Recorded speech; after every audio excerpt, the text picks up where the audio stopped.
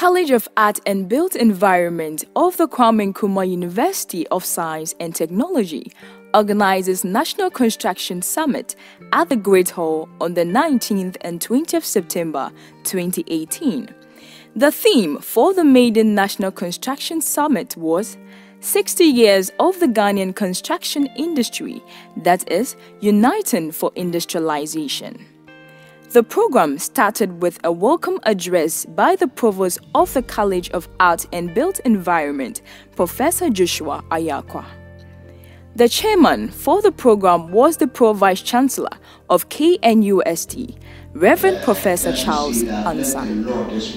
especially from our keynote speaker, and I believe that my eyes are now open on a lot of things. The main presentation was done by the Deputy General Manager, Investment and Infrastructure of SSNIT, Mr. Seth And Chu. so I believe a number of the things we are going to talk about relate specifically to the real estate, but they will also relate to other construction activities.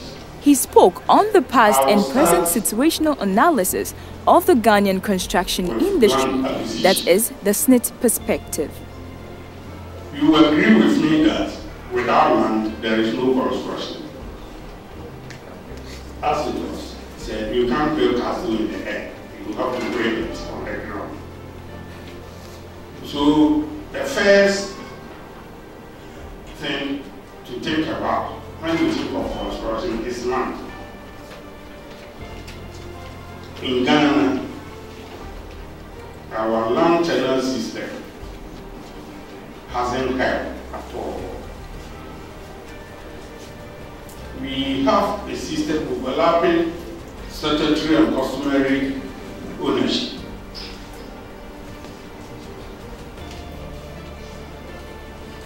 The process of also acquiring title to land is generally time consuming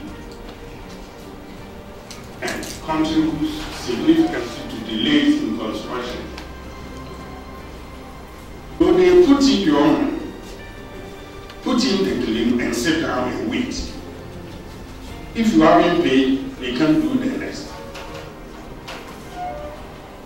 Currently, we have contractors working on projects which worth over 2 million Ghana who can raise on their own 4,000 Ghana cedis.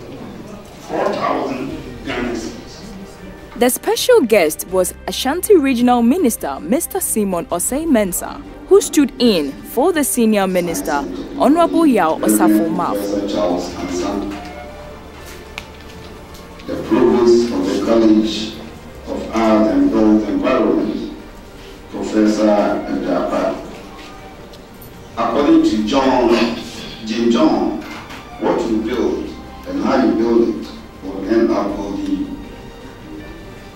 This simply means, as built environment professionals, the quality of your work is what you should do, what should propel you into higher heights. Therefore, you must be committed to showcasing your capacity, improving your skills, and building the needed partnerships so that you can deliver to the highest construction standards that meet the expectation of your clients. In an interaction with Mr. Setchum on land acquisition in Ghana, this is what he People buy said. the land, they haven't developed. People uh, encroach and they find people to go and police it.